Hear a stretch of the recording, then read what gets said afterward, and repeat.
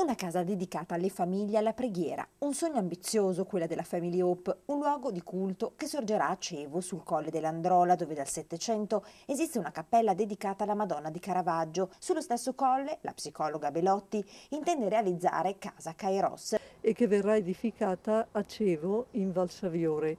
Eh, volevo fare qualcosa per il mio paese natio ma anche per completare la costruzione eh, che è stata posta intorno alla croce che noi chiamiamo del Papa per ricordare la visita di Giovanni Paolo II a Brescia.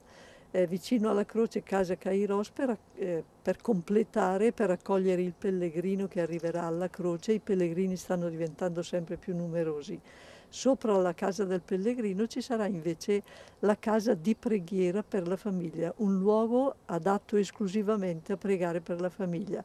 Vogliamo che sia un punto molto importante di riferimento per la famiglia, sia dal punto di vista architettonico perché ha la forma proprio di un cannocchiale che guarda la valle, sia dal punto di vista spirituale perché sarà proprio per la preghiera. 2 milioni di euro questo il costo totale per realizzare Casa Kairos. Tanti soldi, forse troppi, ammette la psicologa Belotti, che nonostante le difficoltà non vuole arrendersi e crede in questo progetto proprio come ha fatto tanti anni fa per la Family Hope. La preghiera ricorda la precarietà in cui viviamo. Eh, è un momento difficile per tutti, eh, però abbiamo anche bisogno dell'aiuto di tutti per poter costruire questa casa.